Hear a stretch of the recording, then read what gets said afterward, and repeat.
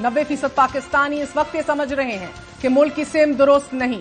एफसॉस की जानब से कराए गए कंज्यूमर कॉन्फिडेंस इंडेक्स सर्वे के मुताबिक सिर्फ़ दस फ़ीसद पाकिस्तानी ये समझते हैं कि मुल्क दुरुस्त सिमत में जा रहा है। और मुआशी मसाइल उनके लिए सबसे ज़्यादा परेशान कन है, मगर मुल्क की मीशत को इंतहाई कमज़ोर समझने वाले अपराध की तादाद में कमी आई है। कम होकर ये साठ फ़ीसद रह गई है। अवामी सर्वे के साथ साथ बिलावल भुट्टो जरदारी भी इस खदशे का इजहार कर रहे हैं कि मुल्क जिस सिमत में चल रहा है, इसे मसाइल में कमी नहीं, बल्कि इजाफा होगा। और इसका जिम्मेदार बुज़ुर्ग सियासतदानों की पुरानी सियासत को ठहराया जा रहा है। इन पुरानों सियासतदानों से एतराज़ ये है वो वही पुराना सियासत कर रहे हैं, जिसने मेरा मुल्क को तबाह किया है। या घर बैठे, या अपना मदरसा में बैठे, मुल्क के लिए दुआ करे, अब काम हमने करना है। खान साहब का हुकूमत बना तो वो टिक टॉकर्स का हुकूमत बन गया, और जब मियाँ साहब का हुकूमत बनता है तो अशराफिया का हुकूमत बनता है। मैं चाहता हूँ कि मैं इस मुल्क में अवामी राज कायम करूँ। मैं चाहूँगा जियाला वज़ीर आज़म हो, मगर उससे ज़्यादा मुझे पिशावर में जियाला वज़ीर आला चाहिए। हैरान कौन इनकशफात करते हुए? चित्राल में जलसे से खताब में बिलावल भुट्टो ने ना सिर्फ़ पीडीएम हुकूमत की नाकामी तस्लीम कर ली है, बल्कि इसकी वजह भी बता दी है कि इतिहादी जाति दुश्मनी निभा रहे थे। ये हमारा जो पीडीएम का हुकूमत था 18 साल का जिनके हमने साथ दिया। खुदा ना खास्ता 18 साल 18 महीने कामयाब अगर नहीं हुए इसलिए कि हमारा इतिहादी खिदमत करने के बजाय अपना जाती दुश्मनियाँ पे तवज्जो दे रहे थे। इसी हवाले से बात करेंगे हमारे साथ पीडीएम हुकूमत का हिस्सा रहने वाले ही पीपल्स पार्टी के सीनियर रहनुमा नवीद कमर साहब मौजूद हैं। कमर साहब बहुत बहुत शुक्रिया। नून लीग को महँगाई लीग का नाम देना तो आसान है लेकिन इसी महँगाई लीग के साथ 16 माह आप सब 10 वजारतें लेकर पीपल्स पार्टी महँगाई से किनाराकश कैसे कर सकती है? देखिए, मैं बात सारी ये है कि हाँ हम कॉलेशन का हिस्सा थे, हम काबीना का हिस्सा थे। तो उस हद तक तो ये बात दुरुस्त है कि हमें भी उतनी नहीं, लेकिन एक हद तक रिस्पॉन्सिबिलिटी ज़रूर हो, कि कलेक्टिव फैसले हो। लेकिन ज़ाहिर के जो लीड पार्टी होती है फॉर एग्जांपल फाइनेंस पे या जो हमारी physical monetary policies State Bank की पॉलिसीज़ थी उससे अक्सर जो है खासकर सेकंड पार्ट में हाँ। हमारा डिफरेंस ज़रूर रहता था क्योंकि पूरी फिलॉसफी ये इधर थी कि भाई हर चीज़ को टाइट करो हर चीज़ को जो है जो थ्राइविंग एक इकोनॉमी की तरफ़ जाना हो वो नहीं था बल्कि कुछ ऑन अगेन ऑफ़ अगेन हमारा आईएमएफ प्रोग्राम भी होता था उसमें बड़ी मुश्किल से पहले हाफ़ में जब मिफ्ता साहब थे। तब भी पहले शुरू में ना था फिर हाँ हुआ उसके बाद फिर डार साहब के टाइम पे भी ऐसे ही हुआ तो वो एक कंसिस्टेंसी जो नहीं रही जिसकी वजह से पेन जो है, वो ज़्यादा हुआ। और पेन अनफॉर्चुनेटली वो आम आदमी के ऊपर होता है अवाम के ऊपर होता है।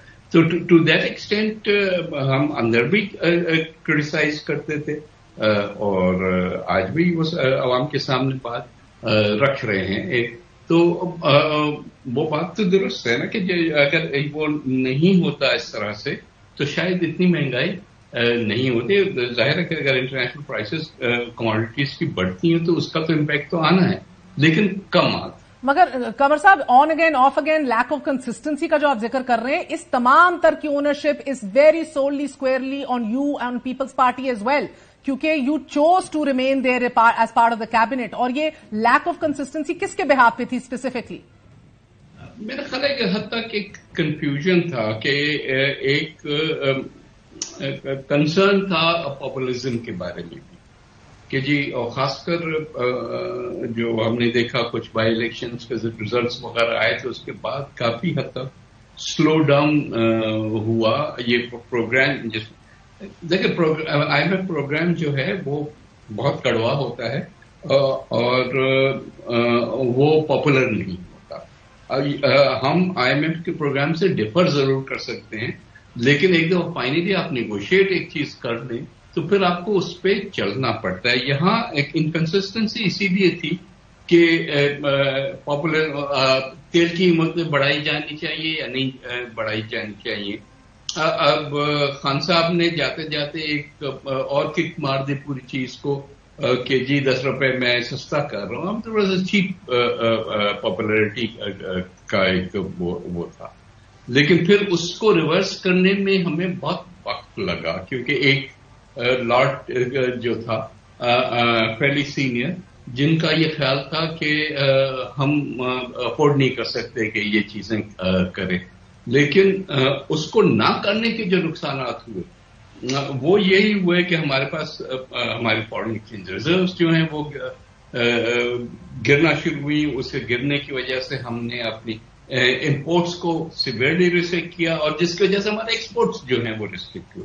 तो अब ये चीज़ें ऐसे ऑन अगेन ऑफ़ अगेन नहीं हो सकती। फाइनली जब ट्वेंटी ट्वेंटी टू के फाइनल हाफ़ में ये बात आ गई कि नहीं, ये ज़रूर करना है और हमने किया तो उसके बाद चेंज ऑफ़ फाइनेंस मिनिस्टर के बाद again we have to go back and start all over again फिर वापस आए दिन, आखिरी दिनों में फाइनली ये डील हुई। तो बात यह है कि अगर कंसिस्टेंसी नहीं होगी तो उसके नतज तो फिर भुगतने पड़ेंगे। तो नवीद कमर साहब, मुझे तो आपकी बात से ये भी पहली दफ़ा इंकशाफ सामने आ रहा है कि आप सब रियासत बचाने नहीं आए थे।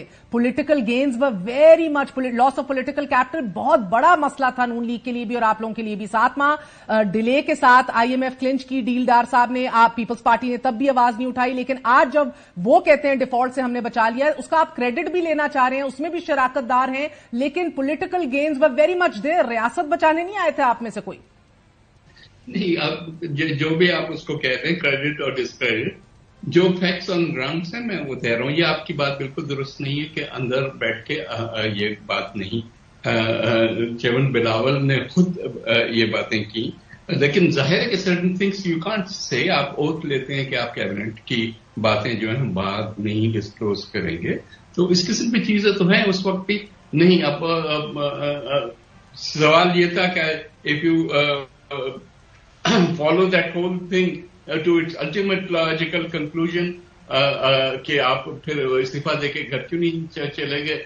That was possible but politically वो इतना पेन खाने के बाद हम निकल जाते उसका मतलब गवर्नमेंट गिरती मतलब इलेक्शंस में जाते तो perhaps everybody thought that that was not the